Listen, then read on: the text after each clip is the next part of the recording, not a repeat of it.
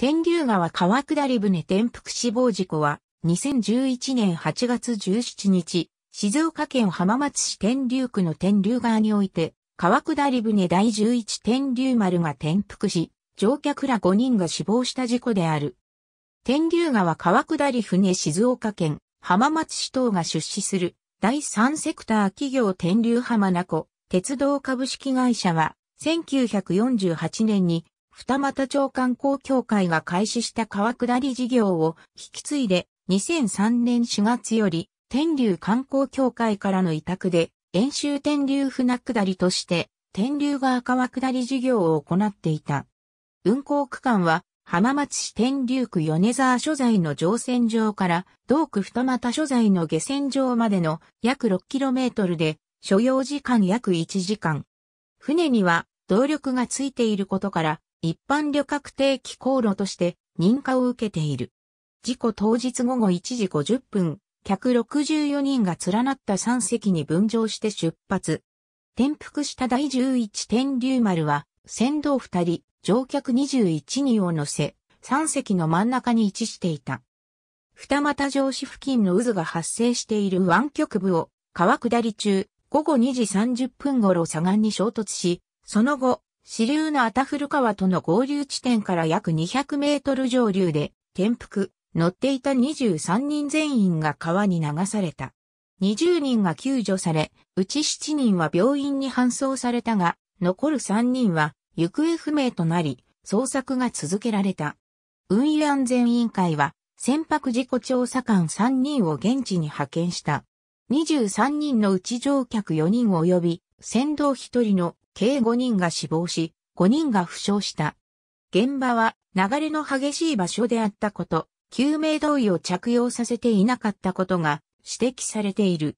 現場は川幅約55メートルの急流で下流に向かって右にカーブし、左岸が岩場、右岸が河原になる場所であった。このため、一旦そこに沈んだ水が上昇して、渦を巻く噴流が見られ、左岸では岩場に向かう強い流れが、右岸では上流に遡る、反流が生じていた。第11天竜丸は、渦の中心のやや右側を通過しようとしたが、噴流などの影響で選手が右岸側に振られて180度旋回。上流に戻ってやり直すために、選手が船頭だった67歳の船頭が声をかけ、船尾の事故で死亡した船頭が船外機のエンジンをかけたものの、すでに制御できない状態となっており、選手を上流に向けたまま岩場に衝突し転覆した乗客が川に落ちた場合の対応や溺れている人を助ける内容の安全訓練は年1回6から7月頃に実施されていた。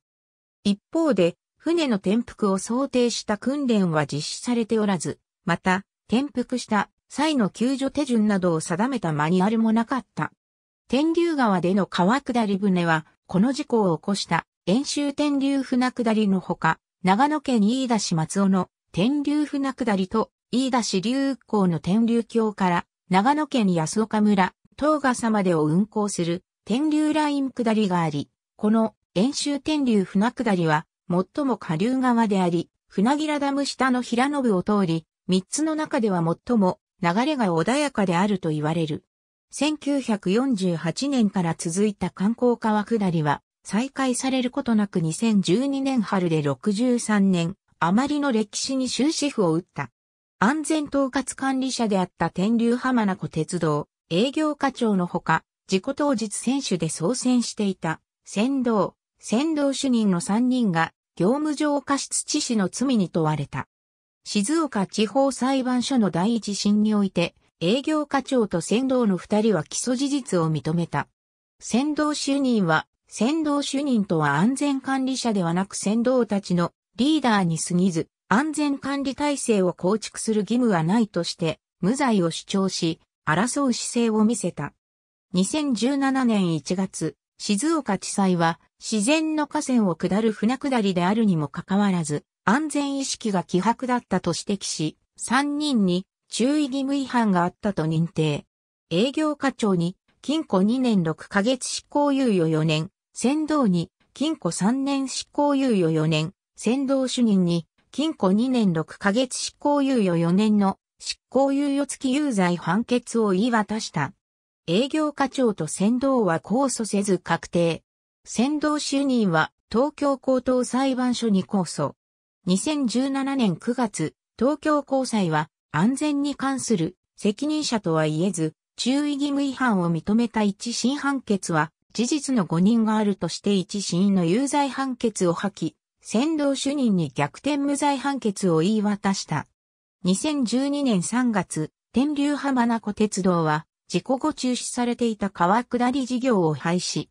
同年事故現場の上流に慰霊碑が建立され、同年8月17日より、毎年同日に天竜浜名湖鉄道が慰霊碑前にて追悼慰霊式を挙行している。遺族、社長、事故当時の社長と会社関係者、浜松市の天竜観光協会た観光関係者らが喧嘩を行っている。